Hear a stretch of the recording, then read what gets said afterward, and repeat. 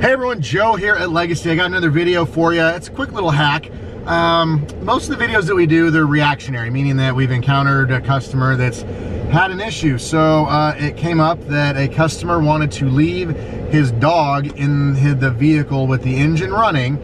Well, like most vehicles, there's a automatic engine shut off, an idle shut off. To override that feature, you can. So uh, if you want to leave your dog in the vehicle with the engine running longer than 30 minutes, because that the vehicle is going to shut itself off after 30 minutes of idling, there's a way to override that. I'm going to show you. You're going to come over here in the instrument cluster, go to settings, advanced settings, vehicle. So you're going to come over here to auto engine off. Now, if we want the vehicle to, to idle longer than 30 minutes, we'll press that button. Now it's going to do it indefinitely uh, until you run out of gas. So kind of a weird feature that uh, a lot of people didn't know about. Anyway, uh, stay tuned for our next video and thanks for watching.